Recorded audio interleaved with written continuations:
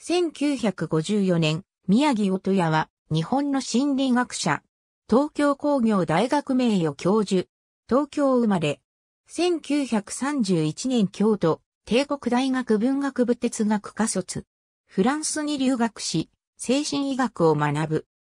帰国後、慶応義塾大学、文化学院、東京大学講師を経て、1949年、東京工業大学教授に就任する。日本大学教授も務めた。心理学及び精神医学をわかりやすく紹介し、心理学を広く国民に広めた。娘を早く嫁がせる法などは、後に後友秀によって心理学者に教わるまでもない常識を書いているだけだと批判された。だが、宮城の著書に触れて心理学の道に入ったものも多い。著書に日本の各都道府県の県民性、県民気質を分析した日本人の性格、他に夢、精神分析入門、超能力の世界、天才などがある。社会評論の分野でも活躍し、清水育太郎、丸山正夫らと20世紀研究所を設立した。1944年には日本人として初めてハリー・スタック・サリバンを翻訳し本邦に紹介している。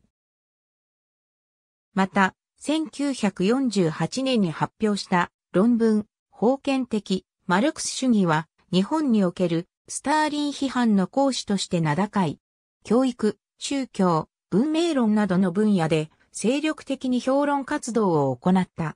チャタレープ人の恋人をめぐるチャタレー裁判では、弁護側の証人として出廷し、露骨ではあるが、わいせつではないと証言し、わいせつ性を否定した。1960年代から岩波新書に超心理学について書き、死後の世界や超能力、睡眠学習や手相について多くの著書を表すなど、一般にオカルトと呼ばれる分野にまでその研究範囲を広げた。自らの著書の中で13歳の頃の宮城が一生の職業として心理学を選ばせた動機の一つに夢枕に立つという経験や霊現象、テレパシー、死後の世界への強い関心、ひいては人間とは何か、なぜ生きているのかという疑問であったと述べ、尊敬する学者として、マクドゥーガル、ジェームズ、ロンブローゾ、フルールノア、マーフィーなどを挙げている。また、超心理学は十分な証拠もなく肯定しないとともに、アプリオリーには何事も否定しない態度を要求するとし、信用できる研究者による厳密な検討の結果、得られた一例は数千の不確実な体験に勝るとも述べている。